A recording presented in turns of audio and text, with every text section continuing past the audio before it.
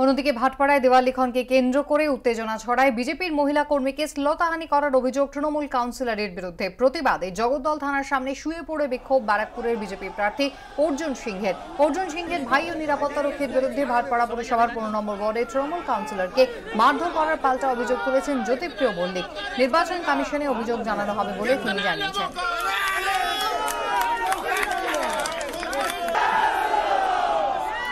কি জানিয়েছেন অর্জুন সিং শুনব একজন মহিলা আছেন।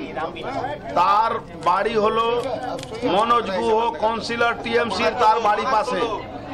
আজকে মনোজ গুহর ভাই মিথুন গুহ ঋষু গুহ আর সত্যেন রায় কাউন্সিলর এই চারজন মিলে ওকে কয়েকদিন ধরে উত্তক্ত করছিল।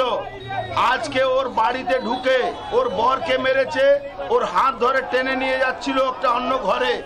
একজন মহিলা মুখ্যমন্ত্রী শাসনকালে একজন মহিলাকে এভাবে যদি উত্তক্ত করা যায়, তাকে মোলেস্টেশন করা যায়, এইটা যদি হয় ভোটের জন্য, তাহলে এই গণতন্ত্র কোথায়? আমি আপনাদের মাধ্যমে ইলেকশন কমিশনকে বলছি কি এই পুলিশ এই যে এখানে ইন্সপেক্টর আছে, আর একজন পিসি পার্টি হেড আছে, এই দুজন যতক্ষণ এখানে থাকবে, এখানে মানুষ সুস্থ থাকতে পারবেন না। এ নিয়ে কথা বলব আমাদের প্রতিনিধি সমীরণ পালের সঙ্গে। সমীরণ, আজ সকালের কি পরিস্থিতি?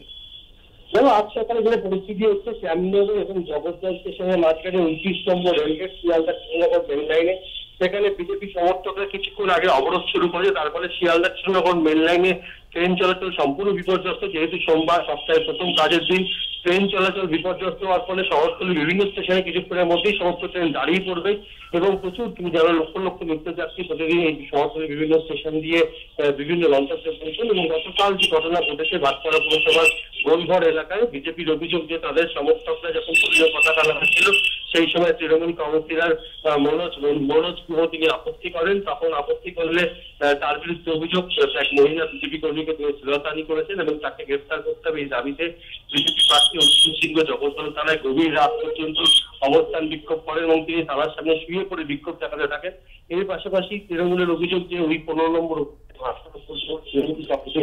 তাকে অর্জুন সিংহের ভাইপো এবং তার অনুগামী এবং তার চার নিরাপত্তারক্ষী মারধর করেছে। এই মর্মে তারা সিংহ অভিযোগ চালানো শুধু তাই নয় যেহেতু নিরাপত্তারক্ষীরা কেন্দ্রীয় বাহিনী সেই কারণে তাদের বিরুদ্ধে নির্বাচন কমিশনের ম্যানেজারের বলেছেন জেলা সভাপতি জ্যোতিপ্রিয় মল্লিক। আরও একবার জানতে চাইব সেক্ষেত্রে আজকে সকাল থেকে আবারও রেল অবরোধ শুরু হয়েছে একেবারে সকাল থেকে কিছু আগে একটা পাঁচ দশ মিনিট আগে শিয়ালদা কৃষ্ণনগর বিহল লাইনে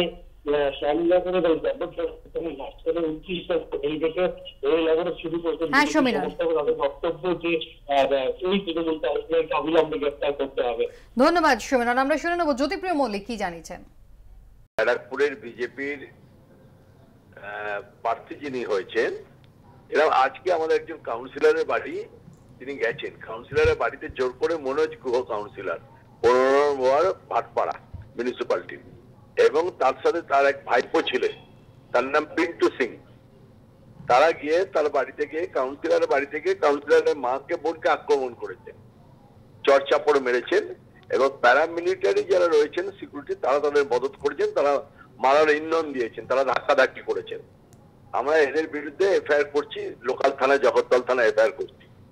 প্যারামিলিটারি সিকিউরিটি নাম করে এই যে বিজেপি লিডারগুলো সব সিকিউরিটি পেয়েছে তারা বিভিন্ন জায়গায় বাড়ি বাড়ি গিয়ে সেট করাচ্ছে।